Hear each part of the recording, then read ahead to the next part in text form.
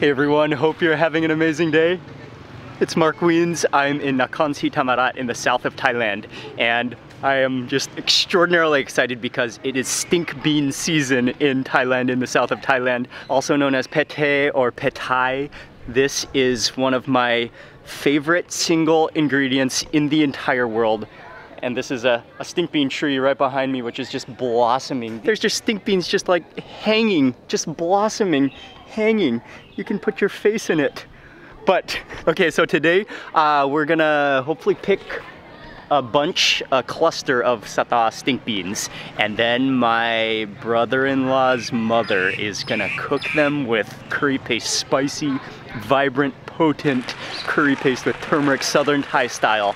Uh, and so in this video on Big on Spice, it's dedicated to my favorite food in the world. Well, at least one of my favorite foods in the world. But almost nothing makes, makes me as excited as stink beans in the world. And when they're right before you on the tree so you can see the way that they're harvested, see the way that they grow, that even makes it more unique, more interesting, more fascinating plant foods.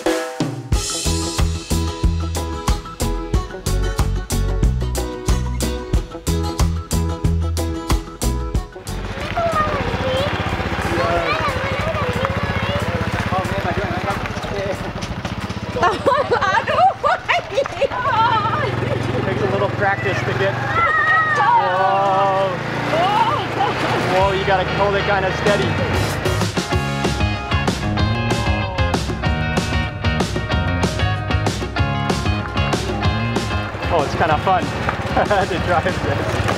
Oh, look at the whole family do.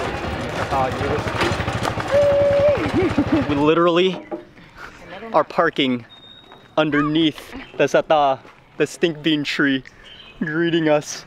Oh, it's like just in your face. So here's the thing, I have shown you stink beans so many times. We've eaten stink beans together, but this is the first time that even for me, that I have seen, been here in season at the correct time in south of Thailand to be able to see the tree just blossoming with stink bean clusters ready to eat. มันจะเป็นแบบนี้ก่อน เสร็จแล้ว เสร็จแล้วมันจะเป็นขนแบบนี้อ่ะ คนนั้ คะ น แล้วก็เป็นคนนั้นตกลงมา แล้วขนร่วง คนล่วงคนล่วงแล้วก็มีมี มันจะเป็นฝักเหรอคะ มันจะเป็นฝักอันนี้มันจะเอาฝักตรงเนี้ยถ้า อ๋อ คนมัน แล้ ร่ ว วง ไอ้ตรงดอกตัวนั้นคือคือตรงมีมันอย่างนี้ยเหรอคะ ใช่ อ๋อ อ๋อแล้วก็มันจะออก Maya's to like totally explaining to us, but it's kind of complicated and I don't understand completely, but I'll try to explain the best and also translate what she said. So first you have these little blossoms, uh, which kind of hang down here. Looks like one of those, remember those massages that I, I haven't seen them in years, but that you like put over your head like that and kind of, it kind of just like touches those nerve endings. That's kind of what it, that's kind of what it reminds you of. And then once it to this blossom, it starts flowering, I believe, and it turns into this kind of like furry, furry ball. Oh yeah, that's hairy and furry uh, and like petally. Once those little flowers, all of that falls off that little, that little hairy ball. then you can see there's a few baby ones where the actual uh, clusters of stink beans start to form and starts to grow from that little ball. And stink beans are common throughout this entire region of the world, especially common in southern Thailand, Malaysia, Indonesia. It's usually cooked with something strong and spicy like shrimp paste, lots of chilies. Uh, so it's usually associated with spicy food. Okay, I got me. And this is a sataw family. They're selling they're selling stinking. Their table is full of sataw. It all, came from this tree? Wow. This one is not too high though. It's like right right here, just head level. Coming up.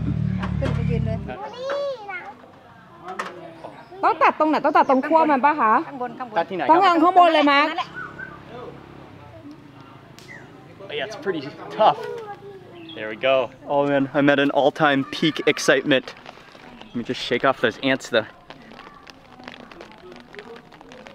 Literally is like a, a chandelier, a cluster of stink beans. Not to mention stink beans, they are extremely healthy. They're full of vitamins, full of minerals, uh, just packed full.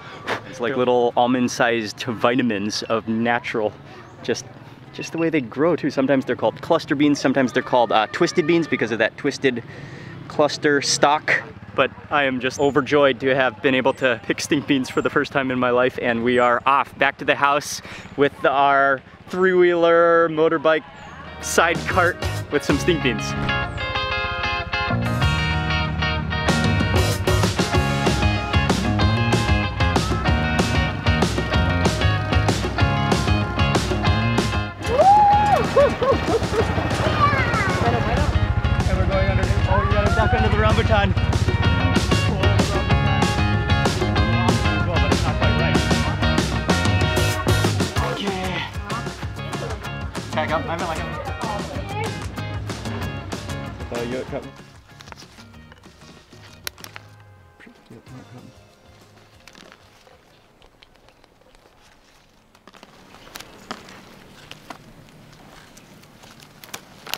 Talk about going big on spice. I'll get my kua. Oh, she's also getting some of the eggplants. Ngại các bạn.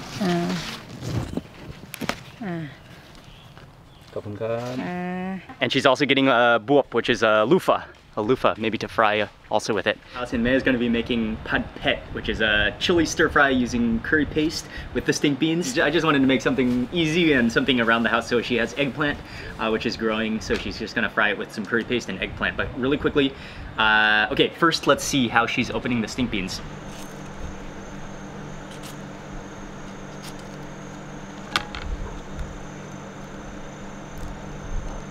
The edible part is the little bean, which the little green bean, which is kind of almond sized but can be bigger than an almond at the same time the, for the older beans. Uh, you can eat them older, which have a stronger taste, or you can eat them younger, which is more uh, like the texture is a little softer and not quite as strong of a flavor. You can eat them fresh like this, you can eat them, oftentimes they're pickled and preserved, uh, you can roast them. We've been eating them every way, form, and shape, uh, but for this dish, usually they're eaten fresh like this and then just stir fried. I just have been uh, researching some of the scientific terminology and also some of the some of the information. It's very high in sulfur, which is similar to cabbage, which is similar to um, shiitake mushrooms, I think asparagus from that like light bulb flower. So once those uh, flowers fall off, uh, it says that it secretes, uh, there's this nectar that attracts the bats and bats come and they actually pollinate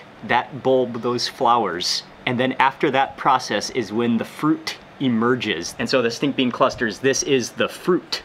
Uh, and then what you actually eat are the, the seeds. It says that usually there's seven to eight uh, pieces per per pod. This one could be a bonus one though. There's definitely more than that. Two, three, four, five, six, seven, eight, nine, 10, 11, 12, 13. This one has 13. That is healthy and lush. And there's just nothing more beautiful in the world than a whole table full of stink beans.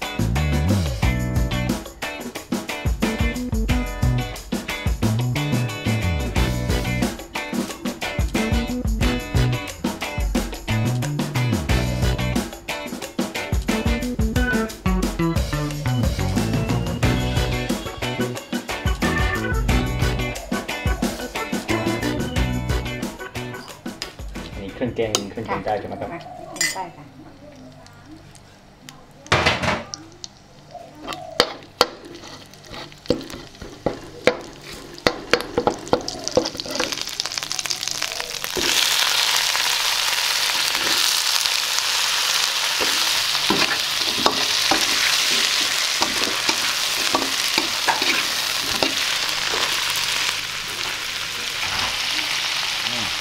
คือ องเครื่องเทศเหรอครับนี่ ค่ะท่านพี่นะ ได้ได้ได้ได้ครับอืมหอมเม็ดผักชี ค่ะ เม็ดผักชีกับยีราครับ ค่ะ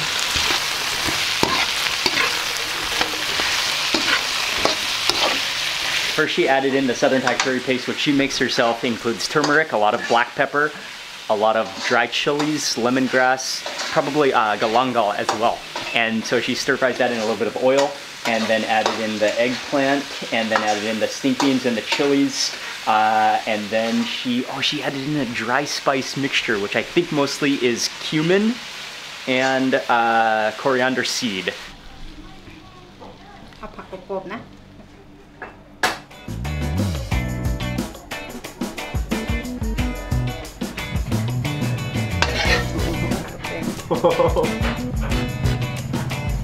สวย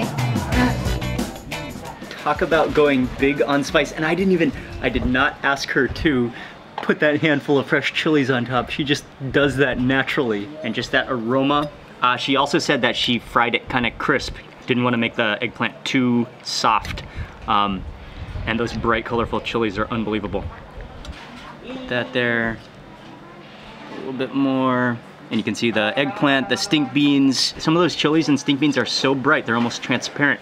And they're just almost like glow in the dark. This is like, I mean, this entire plate literally is like neon colors. And that aroma, you can really smell the, the turmeric and the lemongrass in there too from that curry paste. Let me try to seek out a couple chilies, a couple bright chilies, a couple bright stink beans for my first bite before moving on to the, the eggplant. That is a perfect first bite. That has to be like four whole stink beans and like four chilies within this spoon. Wow, that's a just a bite of overdose flavor.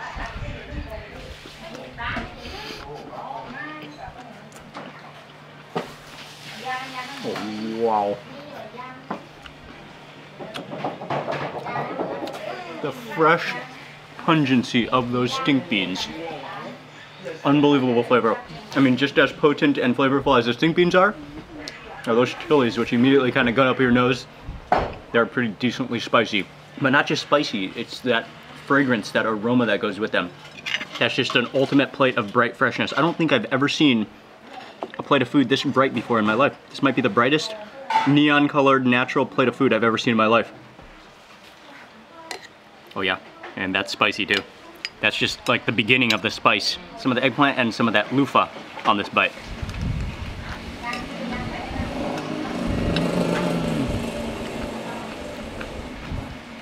And in addition to that curry I just noticed because before I was just focusing on the stink beans, but now I can, with that bite, I can really taste that dry spice powder mix that she added in the cumin and the coriander seed. Just adds another depth, another layer of complexity.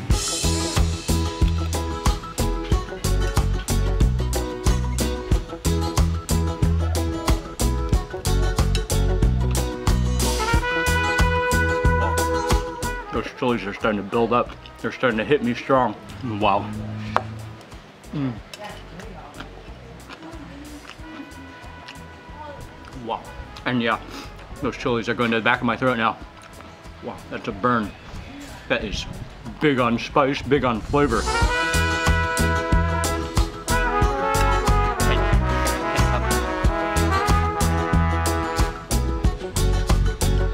Oh, that just lights your mouth on fire.